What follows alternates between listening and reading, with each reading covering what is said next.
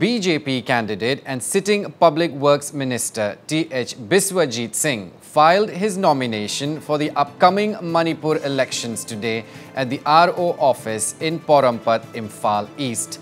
Now, Biswajit Singh will be contesting from the Thongju Assembly constituency and will be going up against Congress candidate Seram Niken, who has also filed his candidature from the uh, BJP party, who is also a national council member, uh, Thongam Biswajit, who is, has officially entered into the 2022 fray for Thongju Assembly constituencies. And now uh, let's listen from the, this uh, BJP key figures. So, sir, how do you see the political scenario the 10 March? See, uh, political scenario is uh, going on smoothly because sometimes somewhere it happens and uh, creating problems socially. There is in the no, nominal uh, the areas. So I feel so as a BJP man, so since we have been doing good job, good thing here, and uh, we have been serving for the last many years, even in during the COVID also. No party uh, was not seen in any field. So only the BJP party created all kind of the positive atmosphere around us. So I feel to BJP, there is no other party to who, who can fight BJP. So BJP will form the government. And I'm, I, I can say proudly because we have done a good job for the people.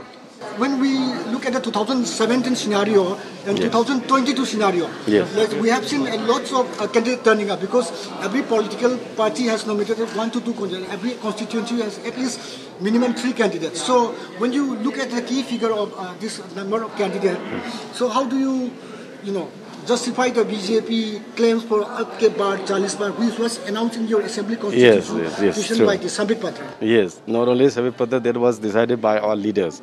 Abke Bar, Chalis Bar, there is the 40 plus. And see, so we must be having the four or five Indian candidates. Even in the Congress party and in other party also, it's having. And BJP is the largest party. And even in Manipur, it is the leading party now. So everyone will uh, be having the good, uh, uh, I mean, the opportunity to get a ticket in our party. And they want to be the candidate from our party only. So they have worked for the BJP party and they have delivered the good thing and all kind of the facility to the people through BJP. even if they, I mean, the defect from the BJP party. So BJP, BJP man and Karkata, those who have been made by themselves will remain with us only. They can go away from us, but the old Calcutta with us. That is how we can say proudly, Abki Bar Chalis Bar. Now, earlier in the day, ex-Forest and Environment Minister T.H. Shyam Kumar, who is the BJP candidate from Andro seat, also officially entered the election fray and filed his nomination before the RO of Imphal East at Porompat. Now, Sham Kumar will face opponents including the NPP candidate L. Sanjoy, INC candidate K. Ningthem Jao, and independent candidate A. Bailey. Forest and Environment Minister of Manipur, Thounaojam Samkumar, who has officially entered into the uh, 2022 fray from the BJP ticket of Andro Assembly constituency. So, mm, uh, beside me is T.H. Samkumar. You are fighting a in this elections uh, because uh, with a lot of contestants. So how do you see the this upcoming elections? But it is the people's people will choose, no. But I cannot say now. So we'll come to know on the 10th of March. So yeah. it's, it's, it's a fight going to be a tough or very easy one. Uh, I get them. It's very easy to fight.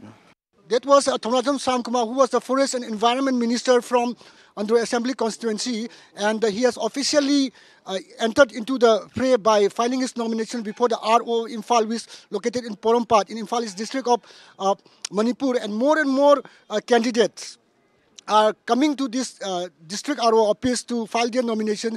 This is Gautam Sharma reporting for Northeast Live with uh, camera person Jayanta Dutt.